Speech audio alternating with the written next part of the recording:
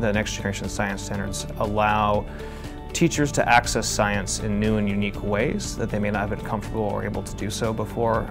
I think any STEM program should be standards based.